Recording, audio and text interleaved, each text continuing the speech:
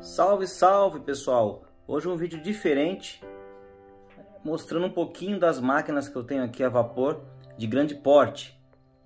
Depois eu vou fazer um outro vídeo mostrando as máquinas de médio e pequeno porte.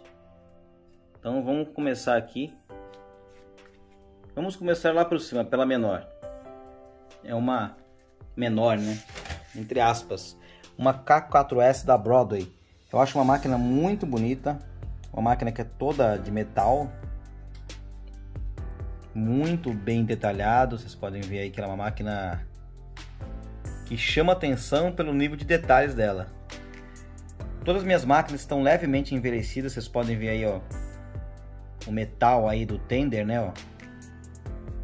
Então eu sempre dou um, uma pequena envelhecida nas máquinas. É uma máquina que tem fumaça e som de fábrica. Uma máquina muito bonita, eu acho a K4S muito imponente.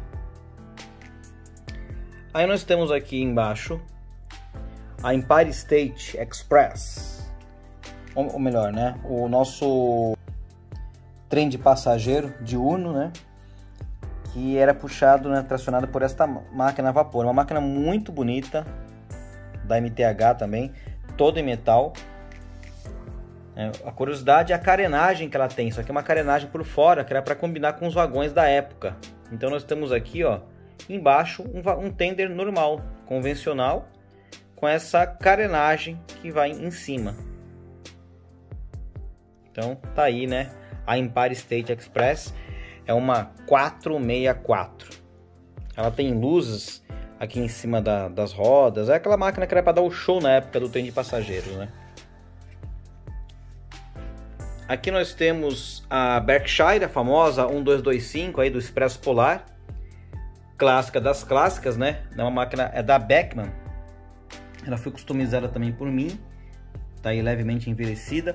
Eu costumo customizar de acordo com o modelo original. Então, se o modelo original está com faixas brancas na roda, fica com faixas brancas. Se não está com faixas brancas, eu retiro. E assim vai. Essa aí eu, eu que instalei o decoder, né? É um Soundtrax Tsunami 2. Também já está envelhecido, vocês podem reparar aí o tender, ó. Dá para perceber aí, né, esse leve envelhecimento aí. Uma máquina que eu gosto muito, acho muito bonita. Acho que ela tem assim uma imponência assim grande essa Berkshire. Tem unidade de fumaça da Soit que eu instalei, ela não veio de fábrica. Aqui nós temos uma GS6, uma máquina também muito bonita. Essa aqui já é da MTH. Eu acho legal dela, é que interessante que a iluminação, né? Ela acende aqui o farol, acende o number board, acende essa luz de marcação, acende aqui também desse lado aqui o, o trem, a luz do trem. É bem interessante, né? E ela também é toda em detalhes. Ó, repare o sino lá, ali embaixo, ó, que interessante, né? Ali o sino mas como vocês podem ver, ela é bem detalhada. Também está levemente envelhecida por mim aqui. Nenhuma máquina minha fica praticamente brilhando aí.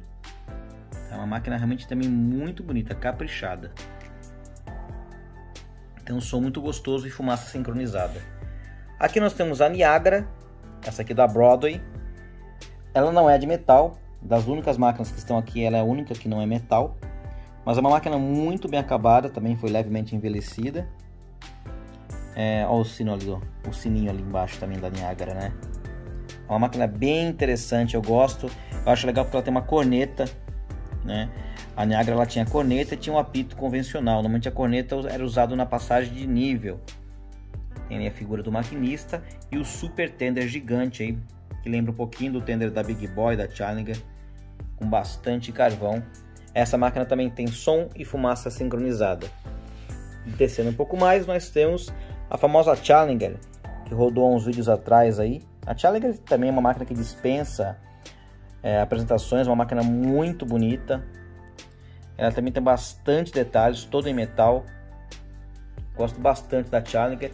Essa versão aqui era da MTH, quer dizer, é da MTH, porém deu um problema no decoder e a unidade de fumaça também. Então ela está com o Tsunami 2, também rodando a todo vapor.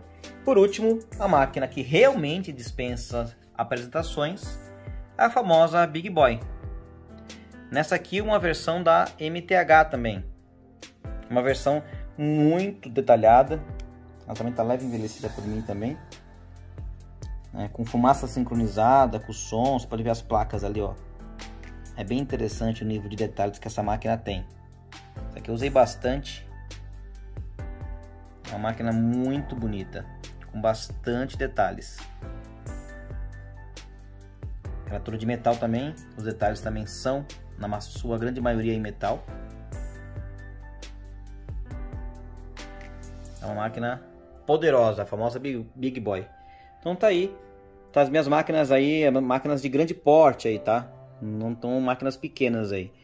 Depois vou fazer um vídeo com as pequenas aí para matar a curiosidade. O pessoal tinha perguntado já um tempo atrás sobre as máquinas e elas estão aí. As vapores, tá? Estamos falando de vapores. Poxa, esqueci de uma aqui também. É uma Beckman Spectrum 212, uma máquina muito bonita que eu também envelheci. Ela está com uma unidade de fumaça da Soit. Preciso fazer uma leve manutenção nela. Uma máquina também toda em metal, também muito bonita, também muito detalhada. Essa máquina aqui já, já veio de fábrica com o som da Sony Tracks. Vocês podem perceber que nenhuma máquina minha fica novinha, né? Pelo menos vapor. Agora sim podemos encerrar o vídeo.